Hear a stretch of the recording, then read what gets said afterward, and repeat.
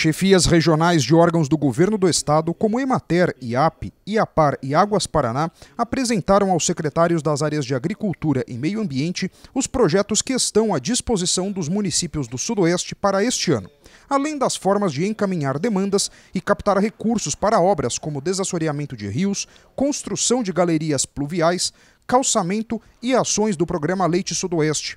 O encontro foi uma iniciativa da Comissão de Agricultura e Meio Ambiente da ANSOP. Criar programas de sustentabilidade, pensando no hoje, pensando no amanhã e pensando daqui a alguns anos. Começar a discutir a partir de hoje o sudoeste do Paraná, que depende e é extremamente agrícola, nós ter esses programas que venham atender ao nosso produtor rural, mas com sustentabilidade. A agricultura familiar foi um dos temas discutidos no encontro. Atualmente, no Sudoeste, são cerca de 2.500 agricultores. Produz a maior parte da nossa alimentação do dia a dia é agricultura familiar, o Sudoeste familiar. E é onde que nós temos que ter programas que dê sustentabilidade, que dê sustentação a ele na propriedade.